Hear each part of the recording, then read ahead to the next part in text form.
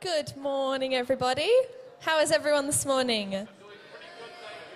Good to hear. Do you guys have good discussions about your favorite holiday places? Anyone have any good ones? Yes?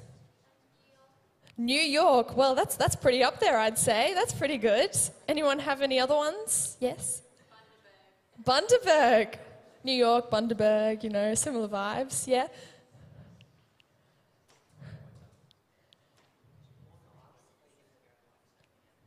Surfing down the dunes. Oh, that sounds really fun. Oh, awesome. That is amazing. Loving all your holiday ideas. My absolute favorite place to go on holidays is without a doubt the trip that my family um, makes to Cotton Tree on the Sunshine Coast every year. We go every September school holidays. We pack up our, our house and into a little caravan and we all scoot up the motorway, um, and we set up this spot, wonderful spot, right on the water. It's literally five steps, and you're like on the beach, which is incredible. It's my dream location. You can see the water um, from the windows of the caravan. It's so lovely. Um, we commit to relaxing by the beach for two whole weeks. No work, just reading, playing games on the sand, lying there, literally nothing to do. It is so beautiful. And I remember being there the first year and experiencing all of the things that I love most about going to Cotton Tree. How close we were to the beach, doing all the kayaking and adventures that we do, seeing all the sunsets. And if you know me, I'm a mad sunset lover. Um, all these wonderful things. And each year, it's these experiences that create a desire in me and a longing to go back and experience it all again. But all of us also experience desires in our everyday lives. We long to be somewhere, we long to do something, or to be with certain people as well. And this might change depending on whether you're an introvert or you're an extrovert. Shout out to all the introverts that love their introvert moments. It could be wherever your friends and family are. It can change depending on whether you're a sport guru, like you definitely see Millie Valentine at a Big Bash cricket game, or if you're a creative at heart and all you want to do is paint or dance or sing.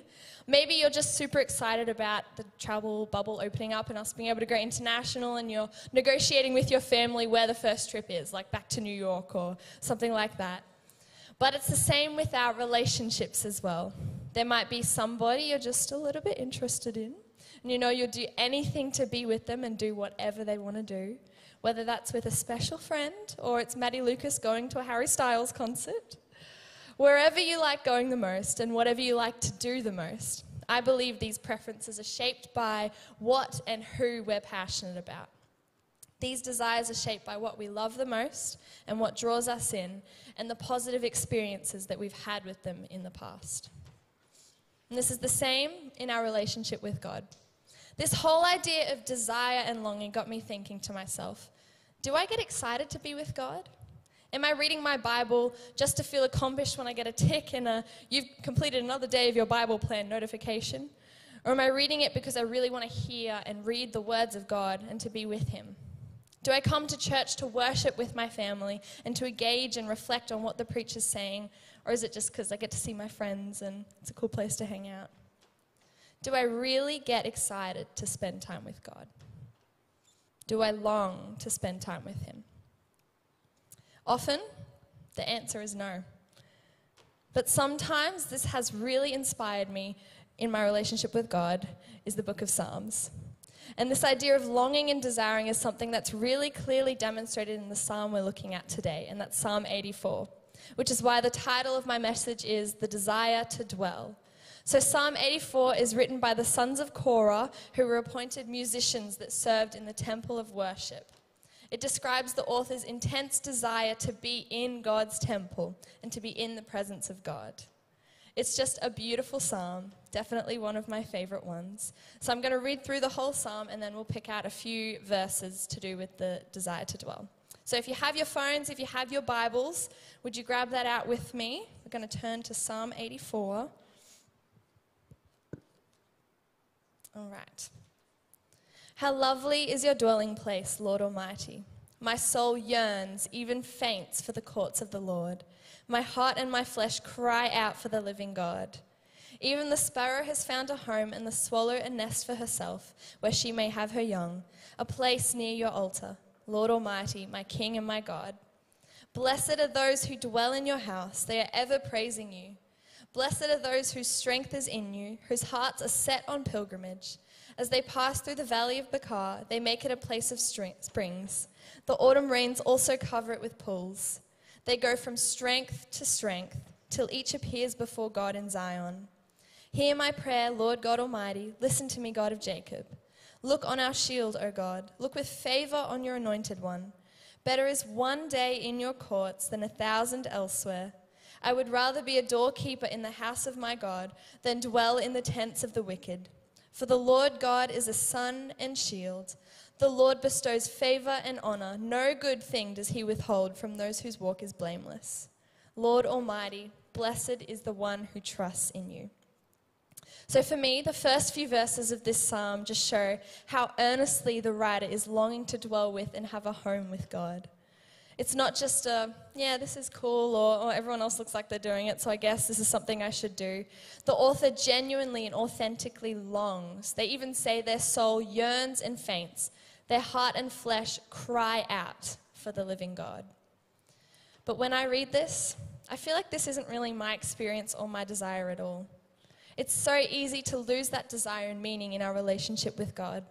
It's easy to get caught in a routine of school during the week, sandwiched by YC on a Sunday and then youth on a Friday night, which is a place to see your friends and hang out with leaders and get involved in some fun games. And this is all good things. We long for community, and community is an important part of being a human. So there's nothing wrong with any of those things. But the kind of longing and desire this psalmist encompasses isn't just about the place and the building and everything that's happening around it. It's about longing for God. Verse 2 says, My heart and flesh cry out for the living God. This person has had an experience of God and they're longing for more. So, how do we start to long for someone? It doesn't always just happen. It begins when we notice something like how someone flicks their hair, or when someone takes their mask off and we see their smile and you realize how beautiful they are. Or you notice someone has a way of encouraging and uplifting other people around them or in any conversation a certain person is a part of, there's never a shortage of joy and laughter in life because of what they bring. In all of these things, you catch a glimpse of someone's character, and this experience is what draws you in. This experience shapes our desire to be with someone. You want to spend more time with them, you want to talk to them, hear more about them, see them more, and the desire to be with them and near them just continues to grow. And this is the same with God. The psalmist has seen the goodness of God. He's had an experience of God, a revelation of Him and His character. And because of this revelation, he says in verse 10 Better is one day in your courts than a thousand elsewhere. There's a song playing in your head, me too. I'd rather be a doorkeeper in the house of my God than dwell in the tents of the wicked. But the crazy thing is, the doorkeeper was at the outermost part of the temple. They were the furthest from the action, the worship, the furthest from where God's presence resided. It was like God's presence was super tangible at the center of the temple and then kind of got less and less so the further away you were. So being a doorkeeper meant that they were only getting a glimpse of God, the smallest sense of his presence. And even still, the psalmist would rather this experience than be right in the middle of the action in the tents of the wicked or anywhere else because he knows that even God just brushing past him is a better experience than anything else. And that's why this psalmist so desired to be a doorkeeper in the house of the Lord than be with the wicked. They longed to be in God's presence always. The desire and love for God meant that they always wanted to be around him and they wanted to be shaped by him. And I just feel like I should say, for those here who are thinking, but I try really hard, I want to know God more, I want to have more of a desire to be with Him, but sometimes I just don't. I first want to say, you're definitely not alone. I totally understand that feeling. You are not a failure, you're not worth any less, and God does not love you any less. The psalmist's heart to be with God is inspiring. We should find it inspiring.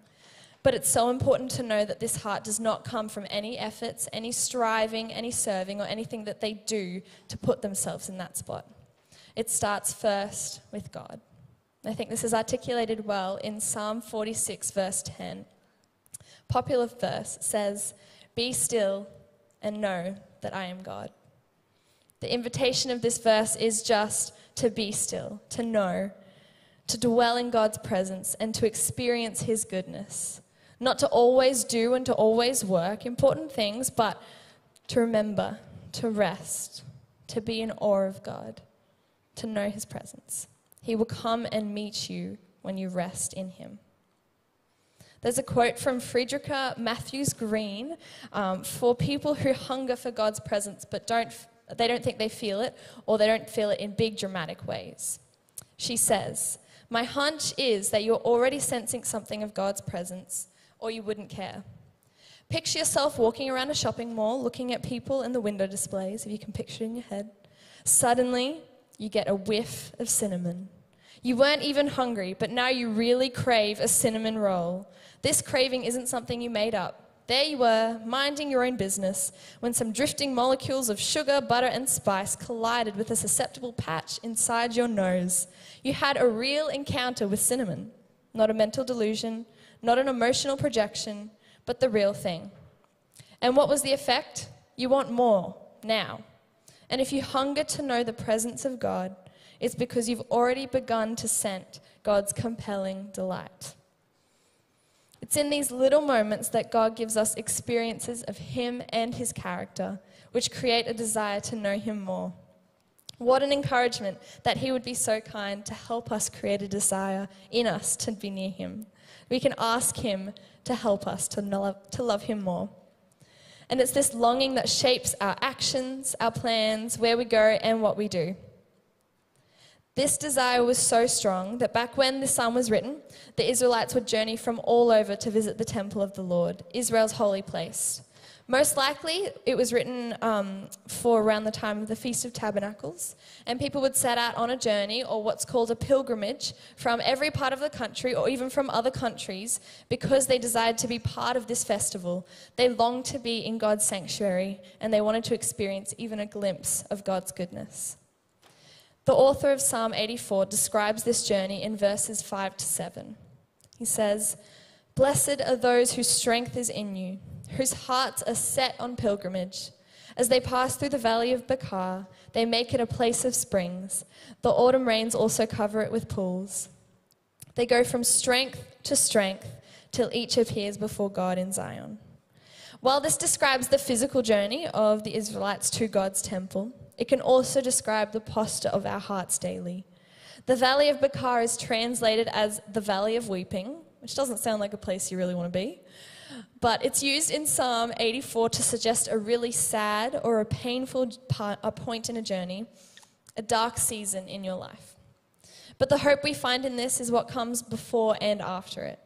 Because the psalmist on his journey finds his strength in God, and his heart is so set on seeing him and being at his temple and being a part of this festival. This valley of weeping becomes a place of springs, a place of life and hope and joy because they find their strength in God and they long to see him. Which doesn't mean that they won't go through the valley of weeping. And all of us will have moments where we're facing really difficult circumstances in our lives. But when we find our strength in God, when we hope in Him and in His goodness and His grace for our lives, when we choose to rest with Him and let our longing to be with Him grow, we find that we never, ever face tough situations alone. God is always with us, He's always for us. And the good news is, we don't need to take part in a really long trek or journey over mountains and through valleys to reach God's temple. Because we live on the other side of the cross and Jesus sacrificed for us, we don't need to visit the temple like the psalmist did to experience God's goodness. We are the temples of the living God. God's presence is already with us, it's already in us, and we just have to be open to receive it and to press into Him. And as we do that, we continue to desire Him more and more. And as God begins to reveal Himself to you, continue to seek Him and to allow your desire to know Him grow. When we spend time in worship, when we read our word, when we pray, when we have a walk through nature, when we just abide with Him, removing all distractions, that's when we start to long more and more for Him and we enter into friendship with Him, lifelong friendship. Now, this looks different for everyone, And my encouragement for you is not to be discouraged when you feel like it's not working for you or you feel like you're wasting time.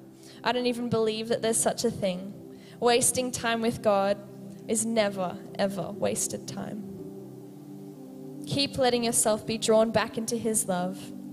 Write down and remind yourself of your experiences with Him. These are some of the most encouraging times that you can look back on when you are feeling discouraged. And as the psalmist points out in the last verse of Psalm 84, blessed is the one who trusts in you. Trust God. First and foremost, trust in God. For the psalmist, this desire and longing started with an experience, a moment in which God revealed himself more fully. And in experiencing more of God, it created a desire and a longing to be in his presence and dwell in his house. I love this passage in Ephesians, in the message version in particular. Paul's praying for Ephesus, but I think it's also a prayer that we can pray today. And I'd love to pray over you in a moment. Uh, Paul prays for Jesus to dwell in our hearts, for us to be strengthened as we walk with him, and for us to know and experience just how incredible his love for us is, so that we're left with a desire to know him more and more. And I'd love to read this prayer over you all this morning, so if you can stand to your feet.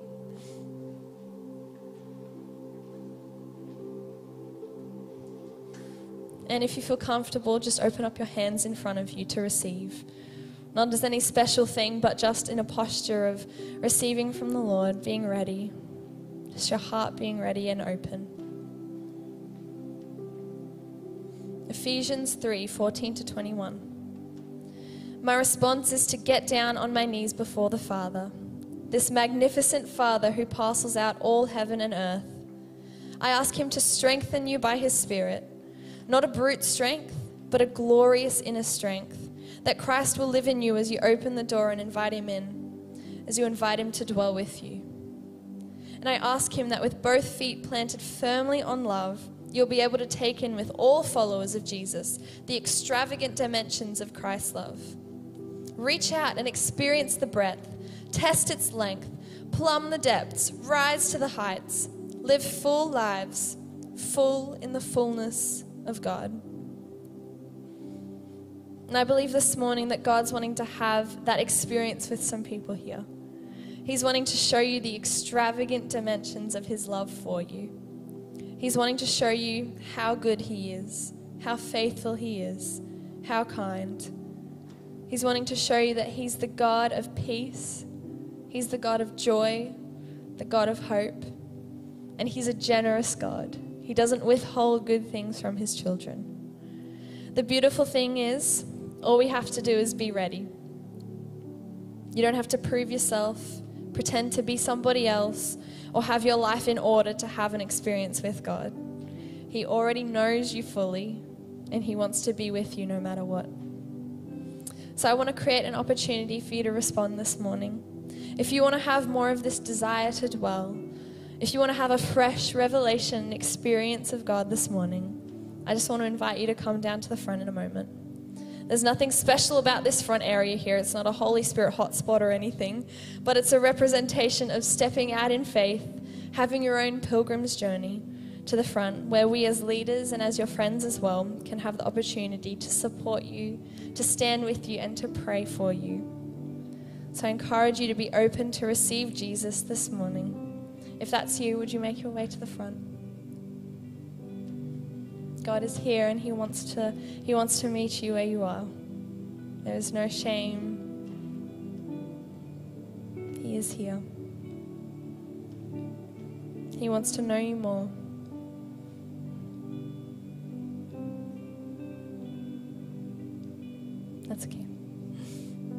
Whether you feel like you just need to put your arms in front of you, I just want to encourage you here as the band plays over you, just to sit and just to talk to God. Just to ask Him to speak to you. Ask Him to reveal Himself to you, to show more of His character, more of His love for you.